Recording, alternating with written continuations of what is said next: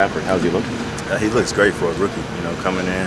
Uh, he still got a little, you know, tweaks he needs to make, but that's just a part of OTAs, you know, this week three. I mean, OTA three, so we got a long way to go.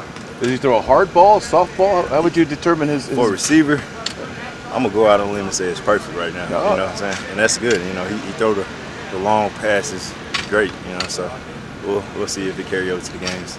Do you go up and say to him, "Hey, I, I kind of like the ball this way or that way," or do, is it on you to make the adjustment to get? Well, it? I just want to get a, a, a touch on what he's doing first, and then you know, on different type of routes, we can you know try to adjust things.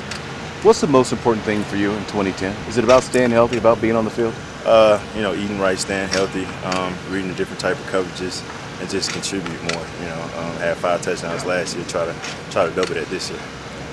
From last season, what did you learn that's going to make you a better guy in 2010? Uh, same same offense. You know, uh, just you know staying healthy. You know, so Is, has it been frustrating to this point? uh, nah, not really. You know, it's just little tweaks and stuff. I, I'm st- I've still been playing. You know, it's just about just playing healthy. You know, so just just staying on the field, staying in the weight room, uh, working with the trainer. Just staying healthy, you know, staying happy. Healthy is happy to me. So, yeah. Is there that thing that you think fans will get to see from you this year where they go, "Oh, that's why they got Donnie Avery"? Yeah, you know, uh, my first year, we you know we explored the deep deep threat. You know, and I, I feel like this year we're gonna go get back to it. What gives you the ability to be the deep threat? Uh, just speed, you know, um, just just burning the cornerback, burning the safety. You know, just getting out there and just just just opening up the field for Jack. You kind of smile when you say all that.